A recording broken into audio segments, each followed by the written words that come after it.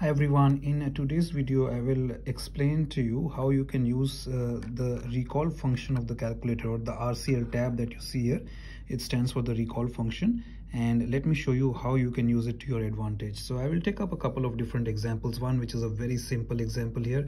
And the other one which will be a bit more complicated uh, for uh, us. So here we have a very simple example where you have 18 minus 14 plus 2 and divided by 2 where if i do it manually of course it's a very simple one. So it will be 18 minus 14 plus 2 becomes 16 divided by 2 so 2 divided by 2 is 1 so how can i use the recall function for a simple uh, problem like this so what i can do is i can basically uh, I'll put the letter A here. I'll tell you why. So when I use the recall function, it will help me. So I go back to my calculator here, right? And what you can do is that what you see in the bracket here, 14 plus 2, you can do that first in the calculator. So just do 14 plus 2.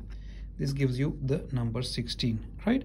So what you can then do is press shift and then press the recall tab all right that means now you have put it in the memory and you give it a letter. You denote a letter to it. So you can see on top here a b c d e f written. So you just give the letter a to it. So that means now 16 as a number is stored in your calculator and you can recall it by recalling the letter a. Let's see how you can do that.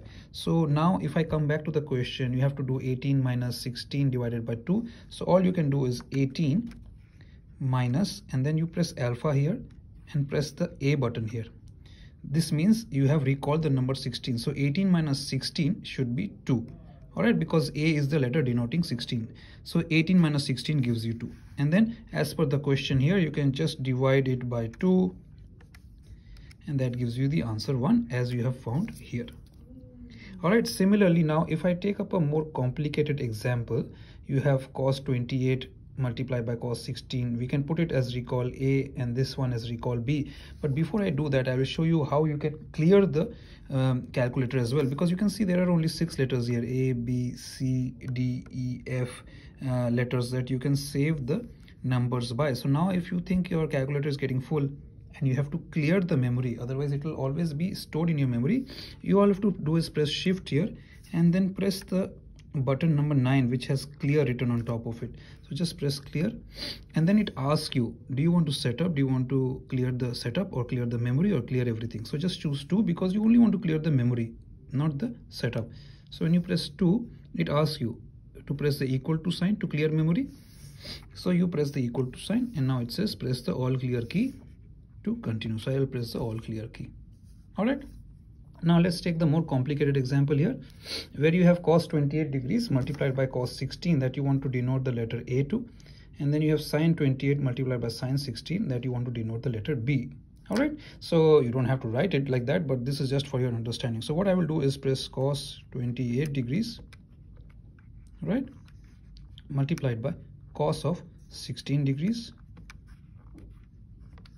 and what I get as the answer here is 0.84874 so I can press shift recall and give it the letter A.